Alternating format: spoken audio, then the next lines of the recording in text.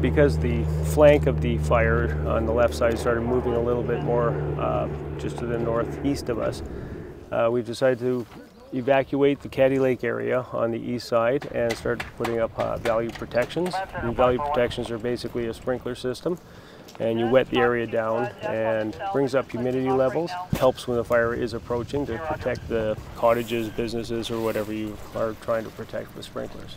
These are usually installed on the peak of a cottage, like front and back, and they have about a 40 foot radius. And so between that, they're protecting the cottage by wetting it, but they're high enough now that it's uh, bringing up the moisture levels in the area. Well, everybody, of course, is very concerned. Uh, we're all receiving tons of phone calls from, uh, you know, cottagers. And, uh, you know, this is uh, something that doesn't happen too often in a community, and we've seen a lot of this in the news lately. But uh, there's, there's a lot of concerns. There's a lot of old cottages in the area and old family memories.